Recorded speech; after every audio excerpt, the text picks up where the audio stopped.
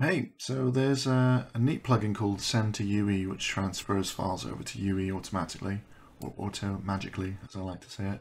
And they've just recently added in some support for being able to send over your Groom information.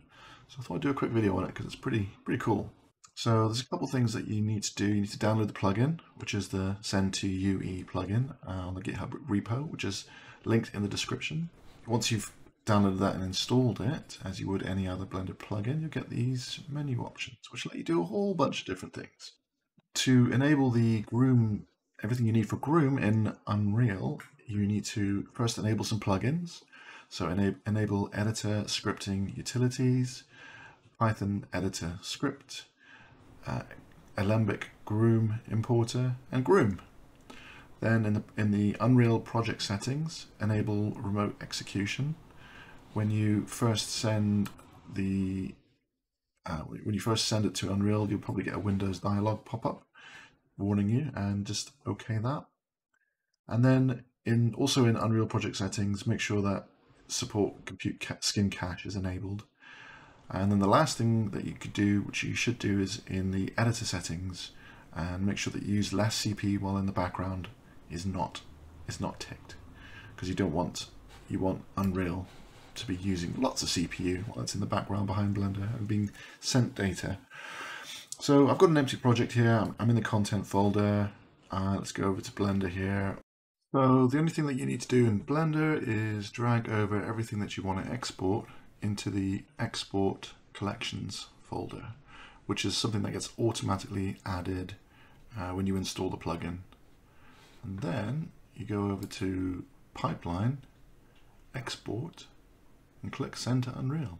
So if we go in to the folders that it's been that that, ha that have been created, we can go in and grab the assets. I pop them in here, and then zero out the location data. Then go into the groom folder, grab the grooms. That's all of them. Pop them in there. Doesn't quite fit. Let's pop the zero them out and press F to focus in. There we go. I got it. Uh, groom data in UE. Very cool. Okay, so over in Blender, back in Blender, let's uh, update the groom, put on X symmetry, hit F to resize the uh, fall off, and with the, with the snake groom selected, let's just give him a fancy mush mustache. Um, go over to pipeline, export, send to Unreal. So yeah, after about 20 seconds of waiting for it to import, uh, got the new groom information. Pretty cool.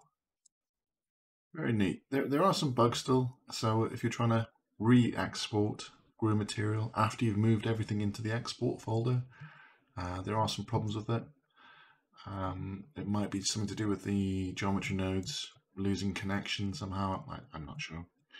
But um, just to get the final export, final version of your grooming hair system over to Unreal, it does. It just it does. It just works.